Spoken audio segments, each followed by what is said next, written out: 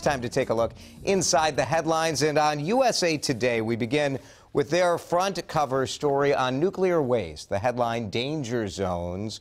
The storage of nuclear waste is the issue. Plants all over the country are being closed as nuclear power lines go offline. But the experts are saying the danger of an accident may be higher with the plants closed because of storage issues over that nuclear waste. Minnesota Lynx get going on their season opener on Sunday afternoon at Target Center. And Jace Frederick in the Pie Press is writing about kind of the weird season for the Lynx. There's a World Cup in September, so the WNBA is cramming the whole season in before September 22nd, so the Lynx only have 10 practices throughout this year's schedule. They'll have lots of games, which I think will be fun. Sometimes it feels like there was a long time in between Lynx games, so looking forward to that.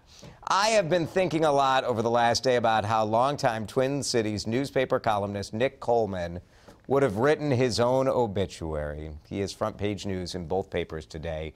Nick worked for both papers. James Walsh in the Strib writes, Nick Coleman, an ornery, poetic, fearless former columnist for the Star Tribune and Pioneer Press, died on Wednesday. Nick's brother is the former mayor of St. Paul, Chris Coleman.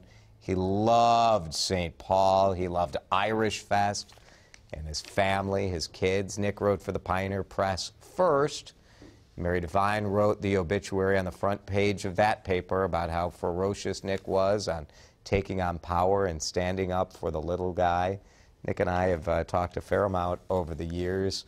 I was looking back through old Twitter messages when he asked me to visit his kid's school years ago to read. He was a great dad. He was a pain in the butt, uh, but he will be missed.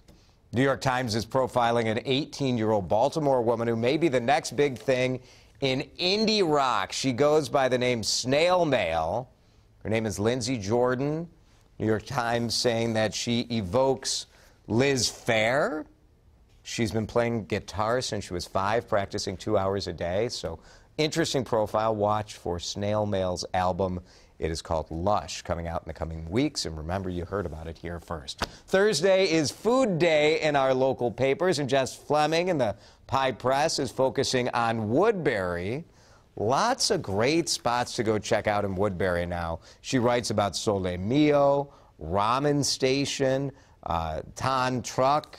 Lots of new restaurants. Cravings Wine Bar is a good spot. O'Malley's. Lots of locally owned places in Woodbury. And in the Star Tribune, Rick Nelson writes about six new restaurants that have opened all around the area. Mavericks Roast Beef is back in Roseville, reopened by a 29-year-old.